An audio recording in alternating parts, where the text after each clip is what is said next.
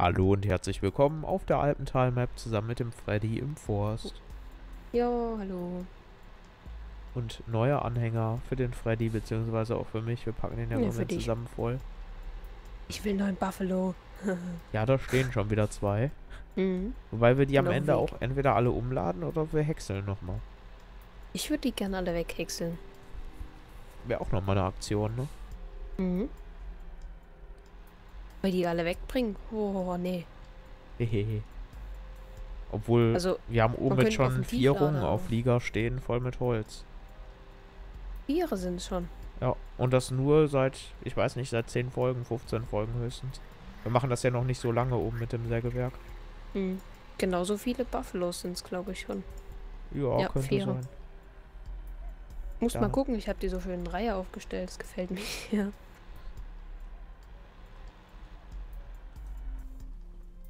Das stimmt natürlich hier. Richtige Buffalo-Armee. und der fünfte ist unterwegs und der sechste kommt bald.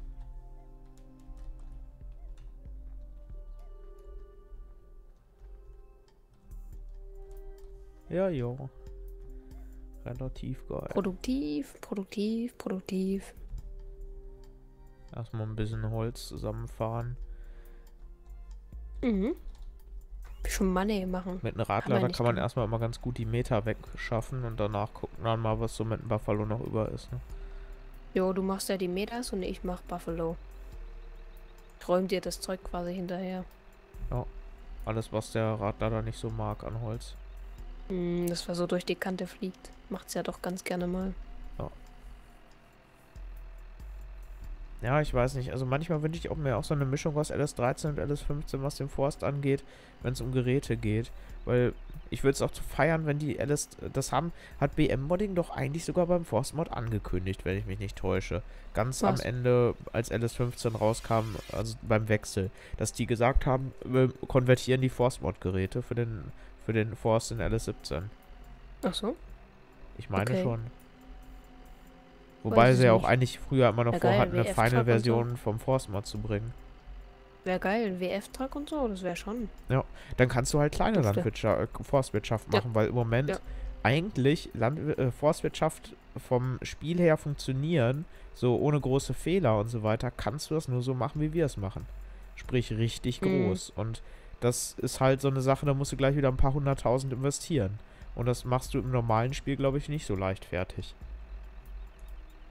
Klar, im normalen Spiel kriegst du auch einfach viel zu viel Geld für das Forstzeug. Deswegen bist du auch relativ schnell oben und es gibt halt auch nichts dazwischen. Es gibt eine Kette. Ich erinnere nur daran, wir brauchten auf Björnholm Geld. Was haben wir gemacht? Ganz am Anfang, da war es uns auch ein bisschen egal, weil wir einfach nur große Bäume Sachen haben wollten. Hm. Bäume reinschieben. Was haben wir gemacht in einer, einer Stunde, äh, in einem Part, glaube ich, 200.000 oder so? Die übel schnell. Habe ich aber auch gemacht. Hat sogar Spaß gemacht. Ja, die Aber ersten paar Stämme sind ganz sinnvoll. witzig, ne? Aber irgendwann denkt man sich auch, bist du bekloppt? Vor allem so einfach so einen Baum reinschieben mit einem Trecker und einem Gewicht vorne dran. Wie Und so? vor allen Dingen dafür hat man dann Geld gekriegt. Ja. Ich meine, hätte man den zumindest klein schneiden müssen, okay.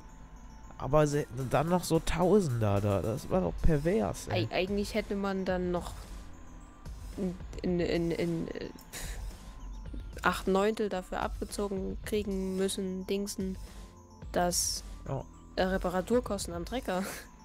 Ja, oder allein schon, was weiß ich, Schneidekosten fürs Holz oder sowas.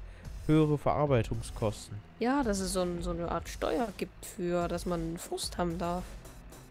Dass Ja, man den halt kaufen pachten, muss und dann auf anderen Steuer. Maps. Das wäre auch wieder geil. Ja, pachten, die Möglichkeit zwischen pachten, ähm, kaufen mit Steuer halt. Also pachten ohne Steuer, pachten mit Steuer oder kaufen mit Steuer. Wäre halt noch ganz cool. Ja, ja, was wäre nicht alles cool, was hätten wir nicht alles gerne und was bekommen wir Mhm. nicht. Das Allein dynamischer Boden, ne, wie lange da schon drüber geredet wird. Mittlerweile, ich Ja, war aber immer ich so, glaube, ja, ja, lass den LS lieber so, wie er ist, Hauptsache der funktioniert und der dynamische Boden wird sicher tausende Fehler neu reinbringen. Ja. Aber mittlerweile finde ich auch, Irgendwann, also irgendwann es muss sich kein mal dran Spin-Tires wagen. Boden sein, aber so langsam können sie mal darüber geil. nachdenken, dass man ein bisschen beim Flügen oder so zumindest in die Rille eindringt und so wie das, wie das schon seit zwei, drei Jahren bei Mods ist. Also zumindest sowas. Es muss ja jetzt wirklich nicht, nicht Matsche sein ohne Ende mit Festfahren, aber so, dass du das Gefühl hast, wenn du auf dem Feld bist, da tut sich jetzt was am Boden, dass der weich ist. Wäre schon richtig. Gut. Oder von mir aus auch nur bei Regen oder so. Dass dann der Ja, Reifen einfach sowas in 10 Pfützen cm eindringt. dass ich was in, dass ich was in Pfützen sammle und in dies, unter diesen Pfützen wird der Boden halt nass. Hatte Dass das nicht da- die äh, Holzhausen-Map, die im 13er? Wenn es geregnet hat, äh, wurden da, Das sind da Pfützen nicht. auf der Straße oder auf dem Hof, glaube ich, entstanden. Gab eine Map, da konnte man sich festfahren. Im 13er, aber die gibt es leider nicht im 15er. Ich weiß nicht, wie die hieß. Aber Ja, Im Endeffekt ist das ja immer so gelöst, du hast einen extrem unebenen Untergrund und legst einfach so eine Matschplane drüber. Also Nee, nee, sieht da, dann konnte aus man, wie. da konnte man sich richtig, da kam man nicht mehr raus, auch wenn der Boden drunter fest war. Da Ja. kamst du nicht mehr raus, ohne dass du dich mit der Abschleppkette rausziehen musstest. Also das, das war irgendwie echter Matsch. Irgendwie. Und die Frage ist halt wie.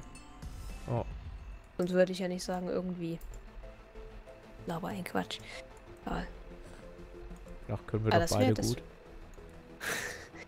das wäre echt cool, wenn irgendwie sowas reali realisierbar wäre. Ja, es gibt so viele geile Sachen, die man. Also allein Weinbau, muss ich sagen, hätte ich auch mega Lust drauf. Äh, auch dieses Thema, eine französische Map, was weiß ich, mit so Hängen. Fände ich auch mal geil. Mhm. Und da hättest du halt auch echt was, was sich gut auf dem Cover für ein neues Spiel anbieten würde, glaube ich. Aber das Problem ist, also sicherlich gibt es in Frankreich auch eine große Landwirtschaft mit großen Feldern, aber sicherlich nicht in der Weinbaugegend. Und du kannst ja schlecht auf einer Map, Standardgröße, kannst Im du ja Endeffekt sind die Maps ja eh immer doch noch relativ fantasiemäßig. Also ich glaube schon, dass Aber sie das machen würden. also Was weiß ich, so, so wie bei äh, Landwehrkanal ist es ja auch ganz extrem auffällig. Du hast im oberen Bereich diese Alpenfelder mehr oder weniger, die richtigen Bergfelder, uneben, Häng Hänge, Steigung, klein, rund und unten hast du dann im, gegen, im Bereich vom Lohnunternehmen so riesige 5, 6, 7 Hektar Schläge, die viereckig sind. Hm, das stimmt.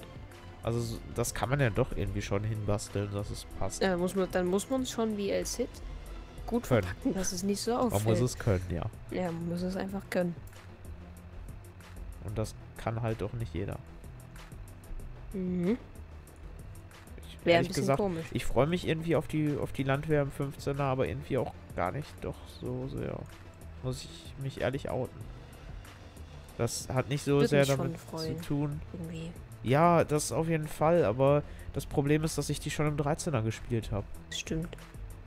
Ja gut, ich habe die nicht so viel gespielt, weil ich 13 erstens nicht so viel gespielt habe, außer wo ich dann zu dir kam und das war halt vor Ende der Landwehrkanal, also konnte ich die nicht so viel spielen. Ja. Und im Singleplayer habe ich die zwar auch gespielt, aber halt nicht so viel und deswegen habe ich sie halt noch nicht satt gespielt, wie du die Two Rivers im 13er. Ja. 600 Folgen, äh, wobei satt gespielt kann man ja nicht sagen. Es ist ja immer noch eine geile Map und der Spielstand wäre geil und man hätte sicherlich immer noch Bock drauf zu spielen. Ja, man könnte Könnte halt immer noch was machen. vorstellen. Theoretisch, wie gesagt, ich habe ja alles noch bereit. Ich könnte, wenn ich, wenn ich morgen äh, Bock hätte, wirklich so richtig Bock auf LS13 Tour was, könnte ich sagen, innerhalb von fünf Minuten, ich nehme jetzt auf und am nächsten Tag kommt Folge 601. Wäre schon geil. Muss man schon sagen. Hat Gronk eigentlich in der letzten Minecraft-Folge gesagt, dass er aufhört mit Minecraft? Ich glaube nicht, ne? Boah, ich blick gar nicht geguckt. Ich weiß es In nicht. der Folge 1200 irgendwas. Ich glaube, dann kam auf einmal einfach nichts mehr. Und dann hat er dazu irgendwann mal ein paar Monate später was gesagt.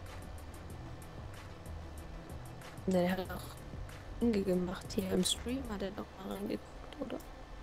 Ja, im, im Stream hat er wieso nochmal, da hat er auch Let's Show und so. Boah, Let's Show Welt, ey. Das, das war auch, Schade, dass er die nicht ganz voll gemacht hat. wobei ich kann es mittlerweile auch, also ich kann es voll nachvollziehen. Allein schon, äh, ich sag mal, zu der Zeit, wo das war, als er aufgehört hat, das zu machen, hat er so angefangen, YouTube ein bisschen beruflicher zu machen, beziehungsweise, und dann hast du halt einfach nicht so wie, was weiß ich, du hast wieso nicht so viel Arbeit und äh, hast viel Zeit, dann kannst du halt 10 Stunden am Tag Minecraft spielen und Welten bauen. Aber das kannst du halt sonst nicht. Und was weiß ich, allein in dem, was er in den letzten Folgen ge gezeigt hat, stecken wahrscheinlich, also in den Livestream-Sachen, stecken wahrscheinlich 200, 300 Spielstunden Minecraft. Ja, also was der gemacht hat, das ganze Meer da überbauen mit, dem- mit dem Hügel. Ja. Und vor allem den Hügel dann auch noch so zu bauen, dass er realistisch aussieht, also wie es Generator macht. Wie viel Zeit und Langeweile hatte er da, weil wirklich, ohne Witz, Und Zeit allein die vielleicht noch Folge einrechnen. 300 Minecraft, dass er da diesen Switch gemacht hat übers Nether-Portal in die Let's Show-Welt. Ja, aber dass man das noch. Also Zeit könnte man noch irgendwie einrichten, aber irgendwie auch die Lust. Mir würde irgendwann die Lust fehlen, ein ganzes Meer mit Erde zu überbauen. Ich habe da auch manchmal früher Bock drauf Höhle. gehabt. Ich habe echt große Sachen gebaut. Ich habe ja immer erzählt, ich habe so eine Art Dom nachgebaut. Der war irgendwie 125 mal 60 oder 70 Blöcke Grundform. Und Dach war halt Baubegrenzung, ne? Und die Oh. Haupthalle in der Mitte war so groß, dass wenn du beim Dachdecken da runtergefallen bist, das waren also mindestens so, also die Spitze vom Dach waren so circa 100 Blöcke, würde ich schätzen. Du hast einfach teilweise, wenn du Nebel anhattest, beziehungsweise Wolken anhattest, hattest du in der Kirche an der Decke Nebel, äh, Wolken. Wird das im Überleben gemacht oder was? Im Survival, ja. Den Dom im Survival gebaut. Ja, ja. Alles klar. Und weißt du, was ich auch gemacht habe? Das Ding unterkellert. Mit einem 5 Blöcke tiefen Keller. Da Mit einer Grundform von 125 mal 60 Blöcken oder sowas. Also ein Sag richtig massiver Keller. Sag das nochmal. Was? Und das auf drei Ebenen. Weil da sollte eine Monsterfalle rein. ich glaube, ich habe allein an diesen Ausheben so ungefähr 50 Spielstunden gesessen. Aus Gottes. Manchmal Dia, äh, manchmal Dia- ansonsten äh, äh, Stein. Meistens, für die Dinge habe ich tatsächlich Sp- Steinspitzhacken teilweise genommen, weil das war noch in der Minecraft Alpha und Eisen war zu teuer. teuer, das findet man doch. In letzter Zeit findet man doch. Ja, in letzter. Zeit, beziehungsweise in den letzten ein, zwei Jahren. Aber in der Alpha bist du drei, vier Stunden in der Höhle gewesen und hast am Ende 10, 20, 30 Eisen gehabt. Da war ein Stack Kohle noch geil. Drei Diamanten nach mehreren Stunden in der Höhle war auch geil. Du hast ja, bei Gronk hast ja auch den Anfang gesehen. Da freut man sich ja auch noch über drei Blöcke Eisen. Na, über drei Blöcke Eis würde ich mich so auch noch freuen. Äh, Blöcke. Äh, ich meine Barren. Also normale Dinger halt. Meine 27 Eisen kann man schon eine ganze Rüstung. Ich glaube 22 Eisen oder so braucht man für eine Rüstung. Oder ne, es waren weniger. Oder sogar mehr. Allein der Brustpanzer hat doch schon Oder acht. 26? Warte mal, 8, äh, das sind 15. Aber ich war sowieso nie der Rüstungstyp. Ich habe eigentlich immer nur im Survival gebaut. Das war für mich Minecraft. Creative Ja, war zu langweilig. 24. Und vor allen Dingen, 24 was ja auch heftig war, wenn du so Bauprojekte hattest. Das Bauprojekt an sich war vielleicht schon heftig, aber allein um so einen Hilfsrahmen zu haben, dass man überall dran kam, nochmal ein Erdegerüst um das ganze Ding Mhm. gezogen, ne? Ja, habe ich auch immer gemacht. Dadurch teilweise, die Wände in der Erdgerüst. Kirche waren teilweise drei oder vier Blöcke dicht. Äh, di äh, genau, die waren dicht. Äh, die waren so dick und hatten Gänge da drin, nur damit ich an bestimmte Stellen auf dem Dach oder so später besser rankam. Da drin waren Treppen und so, das war... Ich vermisse echt diese Welt. Das hatte ich noch auf meinem alten Laptop. Und äh, das Problem war, dass ich, dass irgendwann die Festplatte ziemlich im Arsch war und ich mir einfach gesagt habe, gut, äh, baust du die alte SSD aus deinem Rechner da ein und machst Linux drauf. Gut. Äh, ja. Da ich da ein paar Monate oder einen Monat oder so nicht mehr auf der Welt gespielt habe, war mir die Welt auf einmal ziemlich egal. Was ich im Nachhinein ziemlich bereue. Mhm. Boah, und dann unten den Lava-Häckslereien von Gronks Let's Play, ne, bei dem vier Spawning Grounds. Mhm. Oh, das war, das war echt eine geile Zeit. Aber ich muss auch ehrlich sagen, ich habe, ich habe, glaube ich, drei oder viermal so ein Ding dann nochmal gebaut, aber ich bin nie weiter als bis zur Hälfte oder so gekommen, weil, weiß nicht, also Minecraft ist für mich einfach irgendwann durch gewesen. Das hätte ich früher nie gedacht, weil ich das halt wirklich zwei, drei Jahre lang echt viel gespielt habe. Aber irgendwann war einfach so komplett die Luft, Luft weg Ups. und das war eigentlich ziemlich auf einmal. Das war eigentlich, äh, als ich aufgehört habe mit Shui das Together zu machen und das ist schon ewig her. Also so Anfang, zweit, äh, Anfang LS13, würde ich sagen. Da ging auf, bei mir auf einmal extrem die Minecraft-Lust weg. Kannst du draufhauen? Ja, Problem ist das draufkriegen. Hehe, Hm. kennt man. Gut gekontert. So. Aber irgendwas stimmt heute nicht. Habe ich das eigentlich schon erzählt? Nee. Wir sind wieder in unserem eigenen Raum-Zeit-Kontinuum. Denn diese Folge ist auch schon wieder vorbei.